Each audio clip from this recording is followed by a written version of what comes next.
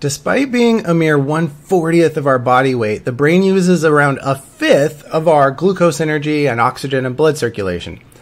This little three pound lump of neurons and support cells is a pretty big deal because without it, you wouldn't be able to see or hear or feel or taste or smell anything at all, even if your peripheral nervous system and all your sensory receptors were totally intact. Without it, you wouldn't be able to experience emotions or recall memories or solve problems or communicate with anyone at all. Indeed, without it, you wouldn't have any thoughts at all. Fundamentally, the you that makes you you wouldn't exist even if the rest of your body were somehow kept alive with fancy medical equipment. So the brain's pretty important. Now, we won't get very deep into neuroanatomy here. Rather, for now, I just want to hit on a few of the really important parts so that we have some common terminology to use when we talk about various sensory and perceptual systems. If we need to get more detailed, we'll do it in later videos when it's relevant. For now, the basics that would help to know. Uh, first, there's some stuff near the bottom the brainstem and the cerebellum specifically are worth mentioning. These are really important for some basic life functions like breathing, sleep, basic movement coordination, and so on. So cerebellum's kind of the little butt down here at the back of the brain, and the brainstem is going up. It's kind of it connects down to the spinal cord down here where the rest of your body is. Okay. Then a little further up towards the middle in this picture we've got, and, and literally toward the middle of the brain, as in deep inside your skull, is the limbic system. The limbic system is important for a lot of stuff relating to like emotions, but also drives and motivation and rewards, learning from reinforcement and punishment and stuff like that. Specifically, three structures are worth mentioning right now. The amygdala, you may have heard called the emotion center of the brain, and there's some truth to that. It certainly is active during most emotional situations or tasks, but it's probably most strongly associated with uh, like fear and rage and the learning that goes with those, like learning what to fear and what not. Think of like a mama rat protecting her pups, things like that. Then there's the hypothalamus, which controls hormones. Like if the pituitary gland is the master gland of the hormonal endocrine system, the hypothalamus is the pituitary gland's boss in the nervous system. It also does a lot of work to keep us in homeostasis, like keeping our basic functions balanced. And finally, there's the hippocampus, which is an important part of the limbic system. If you've heard of it before, you've no doubt heard it called like the memory center of the brain. And there's a grain of truth to that, but it's that's way oversimplified. The hippocampus doesn't really store memories. Memories are stored in a distributed manner throughout the brain. We could remove the hippocampus and you would still remember your childhood and your name and what 3 plus 3 equals and how to ride a bike and what the word neuron means. But what would happen without the hippocampus is you couldn't form new memories. It's essential for laying down new long term memories, making them more permanent in the brain, consolidating them.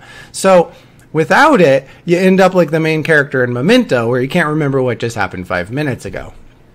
Now, a good way to remember hippocampus, just as a mnemonic here, is imagine seeing a hippo wandering through campus. You'd sure as hell form a new memory. A hippo on campus equals a new memory. That's, I don't know, easiest way to remember it. Finally, the part of the brain we're going to be most interested in and spend most of our time discussing in this course is the cerebral cortex. It's kind of the upper and outer layer that you can see here in the picture. It's uh, got all those folds and valleys that you're used to thinking of when you see a brain. It's about 40% of the brain's mass and has something like 15 billion neurons in it. And it has the areas that are most relevant for things we might think of as like higher thought, future planning, and stuff like that, but also for processing a lot of our perception, especially when we consciously experience sensory input and it's you know for controlling skilled motor action and things like that. So let's zoom in on the cerebral cortex. The cerebral cortex, it's made up of four lobes, kind of split into four lobes, which have been helpfully color coded here in the picture. We'll talk about each of these in turn, but just to list them, the four lobes are the occipital lobe in the back, so it's blue here, the temporal lobe on the sides by our ears, then the parietal lobe, it's up top, maybe a little bit back from the middle. And finally, the frontal lobe, which you may be surprised to hear, is in the front. Now, importantly, when we refer to these four lobes, you've got to understand there's actually a left and a right hemisphere of the brain, a left and a right half. So there's kind of a left and a right copy of each lobe. As I'll show you in a second, there's really a frontal lobe on, on the left side and the right side, an occipital lobe on the left and the right side, and so on. We could refer to the left temporal lobe, and it would mean that cerebral cortex area that's by your left ear, but not the right side copy. So, okay, let's dive into these four areas specifically. The occipital lobe first. Again, this is the one at the back in blue in the picture here. It's dedicated largely to vision, to processing information we get from our eyes. And maybe other places you might see it activate would be like some parts being activated when we mentally imagine a visual image in our mind's eye. Again, we've got the occipital lobe, got like a copy on the left side and a copy on the right side, so to speak. So at the back of our head, there's kind of a left half and a right half of the occipital lobe. But I'll just refer to that combined stuff as the occipital lobe for short. It's actually got a bunch of sub areas that are specialized for certain aspects or steps in visual processing, like a color area, that if that part of your brain is damaged, you may become colorblind, or an area specialized for motion, or areas for form and shape and putting that together from the, the input from our eyes, or areas of the brain specialized for location, like visual location, where in the visual field is it, or other spatial aspects of visual input. And at the very, very back, of this blue part, very, very back of the occipital lobe. It's actually the first major stop in the cortex for info from our eyes, which we would call the primary visual cortex, or we'll see later it's just called V1 for visual, V, and 1 meaning primary. We'll come back to that when we talk about our sense of vision in detail. Then there's the temporal lobe. Again, this is on the, the side of your head, kind of in red here in the picture, one on the left half, one on the right half. And this is specialized for hearing. So our initial auditory processing happens here. That's where the A1, the primary auditory cortex is. This is also where that info gets shared with nearby brain areas that help us understand language, especially early steps in processing language and, and you know, comprehending the, the words that we're hearing and things like that. Um, it's also the temporal lobe does a lot of recognition and categorizing. So, so putting things into categories or conceptualizing.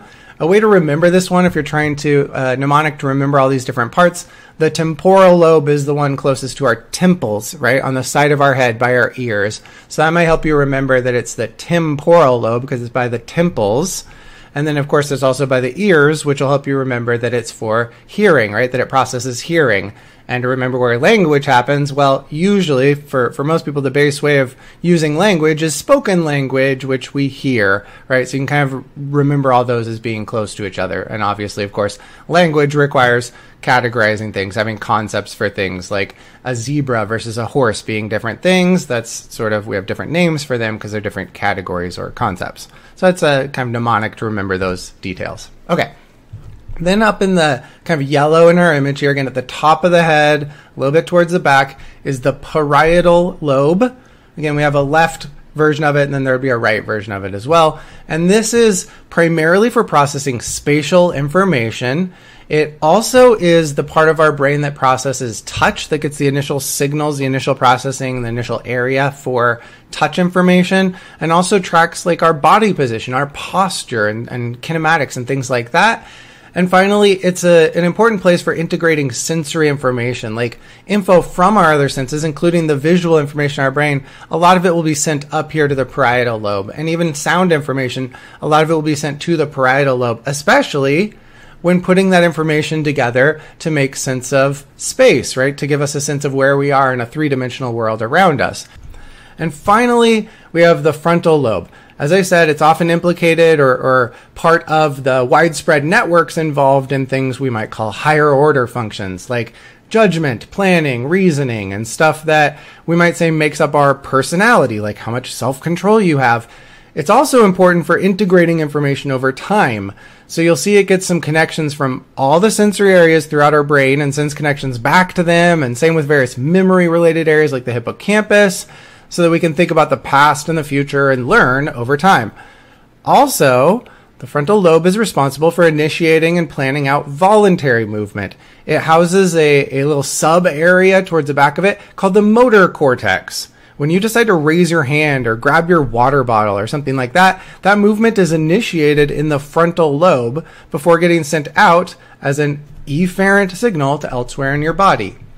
Now, on its way out, before it goes down the spinal cord and out to the peripheral nervous system to the muscles, there's also often processing and, and motor coordination of the more unconscious and automatic type um, that'll happen in the cerebellum. It actually interacts, it, it helps uh, along with other areas. But the frontal lobe is really where voluntary movement, the kind we're consciously aware of, as opposed to, you know, just automated coordination of different muscles while you walk, something like that, without having to think about it, that would be the cerebellum. But deciding to walk or saying, I'm going to raise my leg or I'm going to kick, that would be voluntary movement initiated in the frontal lobe. Okay, here's another version of just that same basic image, bringing those four lobes together. Now, with the brainstem and the cerebellum in the picture there that we talked about before. Also, the limbic system is in there. It's just tucked inside the middle of the brain. It's above the brainstem, but not pictured here.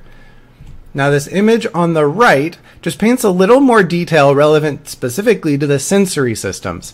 As I've said, our sensory info generally ends up in a primary receiving area in the cortex denoted with a 1 for primary, like A1 or V1 for vision, before getting further processed elsewhere in the cortex.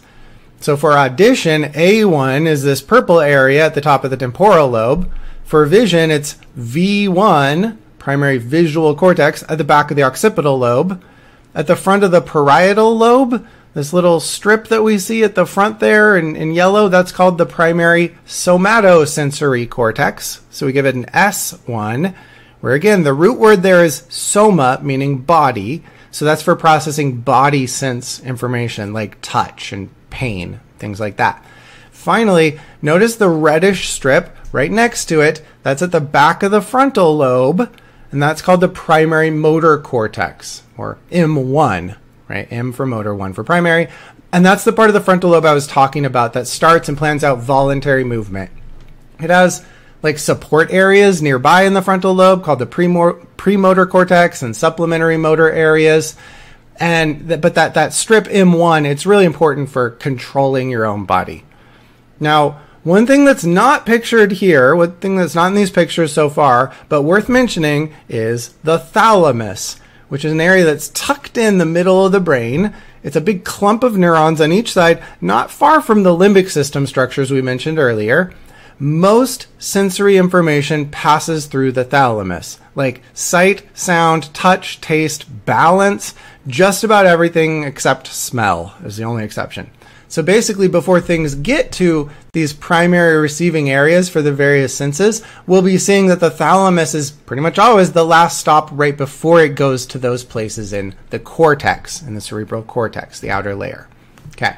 Now, I mentioned before that each lobe in our brain has a right hemisphere and a left hemisphere, like a right half and a left half, right? And we saw that in those rotating skull pictures, we, we kind of saw that highlighting one of the lobes. You can see there would have been the other lobe on the other side. Most of the brain's sensory and motor wiring is laid out contralaterally. So for basically everything except smell, and we'll come back to that, but for all our other senses and for our motor wiring, the brain is laid out with this basic opposite side wiring.